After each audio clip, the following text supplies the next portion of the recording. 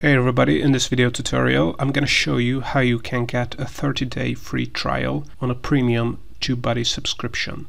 Alright, so if you want to get a 30-day free trial on TubeBuddy, all you have to do is first click on the exclusive affiliate link I have in the description below. If you click on it, you will arrive at this page.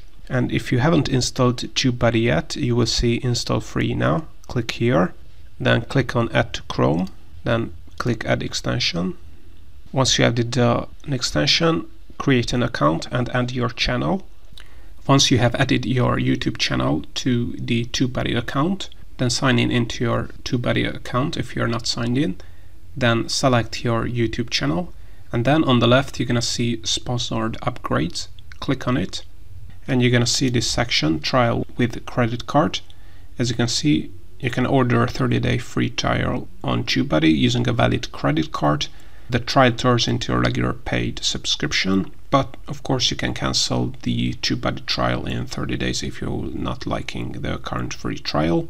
I also have a tutorial on how to cancel a subscription. So in this case I would choose Legend because that's the TubeBuddy feature with all the best features they provide. So click on Legend here as you can see, you can either pay with PayPal or with credit card, and you can uh, get a 30 day free trial with TubeBuddy Legend.